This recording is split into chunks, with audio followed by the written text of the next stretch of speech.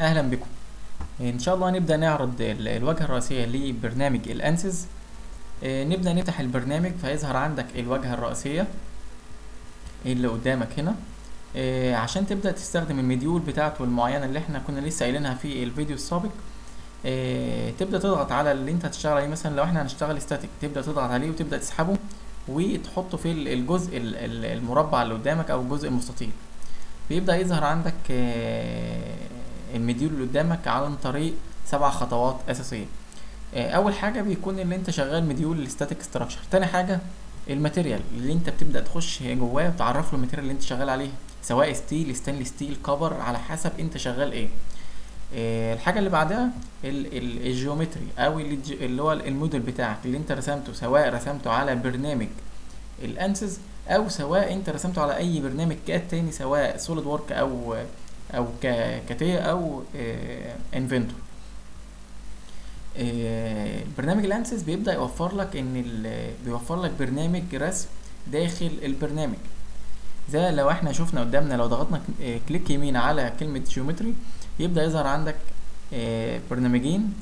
البرنامجين دولت بيستخدموا في الرسم آه، الموديل لبرنامج ال ANSYS آه، إحنا إن شاء الله هنبدأ نشتغل على برنامج ال Design Modeler لو انت اول حاجة وقفت عليه وضغطت click يمين ويظهر عندك القائمة اللي قدامك تضغط تضغط عليه تاني. يبدأ البرنامج عندك يفتح. آه، بعد ما تفتح البرنامج بيبدأ يظهر عندك البرنامج مجموعة من آه، الأوامر أو مجموعة من آه، الأجزاء الرئيسية في برنامج ال Design Modeler زي ما إحنا شايفين كده قدامنا زي ما إحنا شايفين كده مجموعة الأوامر المختلفة لو إحنا قرينا أول جزء عندك هنا ده الجزء الأولاني بتاع ال file اللي هو انت بتعمل save أو بتعمل new file للجزء اللي عندك. آه، لو انت عاوز تعمل صورة تاخد آه، تلقط صورة للشكل اللي انت شغال عليه. آه، في عندك قائمة تانية بتعمل اللي هو تعمل control Z اللي هو undo اللي انت ب- بترجع أو بتسبق ال- ال- اللي انت كنت واقف عند حاجة عاوز ترجع لها تاني. في عندنا مجموعة من الأوامر. تانية اللي هو ال selection اللي انت بتبدأ تختار. هل تختار الجسم كله ولا انت عاوز تختار سطح معين أو عاوز تختار edge معينة أو عاوز تختار node اللي انت عاوز تشتغل منها. إيه عندك مجموعة تانية من ال- الأوامر. إيه الأوامر دي اللي انت مثلا عاوز تحرك الجسم في جزء معين عاوز تكبره عاوز تصغره عاوز تعمل له روتيت اللي انت عاوز تبدأ تدور قدامك الجسم اللي قدامك. إيه عاوز تاخد قطاع وتشوف الجزء اللي انت شغال عليه ده وتشوف فيه قطاع. إيه عاوز تعمل إيه plane جديد أو تعمل new sketch إيه، دي المجموعة الأساسية. عندك مجموعة تانية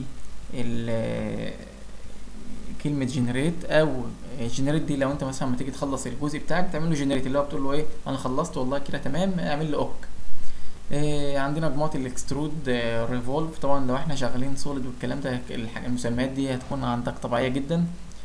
إيه عندك مجموعة من ال- البرنامج لما يكون عندك على إيدك الشمال بيبدأ يظهر لك الثلاث مستويات اللي هو الاكس وواي وزد واكس وواي وزد بتبدأ تختار أي جزء منهم ويتحدد له ال plane ويتحدد له الجزء اللي انت شغال عليه. ال- الجزء التاني بتاع ال- السكتش بيكون فيه مجموعة من الأوامر ال li- ال line والدايرة والمستطيل والحاجات الأساسية اللي انت عايز ترسم بيها. اللي عندك القائمة بتاعت modify فيها اللي هو الأمر بتاع ال trim والأمر بتاع ال- ال fillet ومجموعة الأجزاء الأخرى. لو إحنا شفنا هنا في الجزء اللي إحنا هنا متكبر عليه يبدأ يظهر لك هنا ده ال node. لو انت عاوز تختار node وعاوز تختار edge هنا عاوز تختار face وهنا عاوز تختار الجسم كله. وعاوز تختار آه، جزء معين ومعمول له extension اللي انت مثلا اخترت face وهو لغاية الآخر. فانت عاوز تختار الجزء ده وهو عنده كذا مجموعة من ال ال الأوجه مع بعضها. نبدأ نخش على البرنامج عشان يكون الصورة أوضح لنا ده الواجهة الرئيسية لبرنامج ال design model زي ما إحنا قلنا في الجزء الأولاني هنا اللي ده عندك مجموعة من ال files وهنا مجموعة ال save وهنا مجموعة من البادي والفيس والايدج والنود وهنا المجموعة اللي بتختار منها يتحرك منها الجسم ويتكبر ويتصغر أو تعمل له rotate وال geometry generate طبعا لسه قايلين عليها. يبدأ عندك هنا الجزء الأولاني اللي هو ال XY plane أو ال Z و X وال Y و Z لو انت ضغطت على اي جزء منهم المستوى اللي انت هتبدأ تشتغل عليه بيبدأ يظهر لك ال- الجزء اللي عندك. تقول له والله أنا هشتغل على على ال على المستوى X و Y تبدأ تحدد له ال X وال Y وتحدد له آه تضغط على new sketch اللي انت عاوز تختار. ترسم رسمة وتعمل له look at اللي انت بدأت تظهر قدامك الجزء اللي قدامك. الحاجة اللي بعد كده اللي انت لو دخلت على قائمة ال- السكتش يبدأ يظهر لك الأوامر الرئيسية. والله لو انت عاوز ترسم مستطيل بتبدأ تختار تضغط عليه عادي خالص وتبدأ ترسم مستطيل عادي خالص.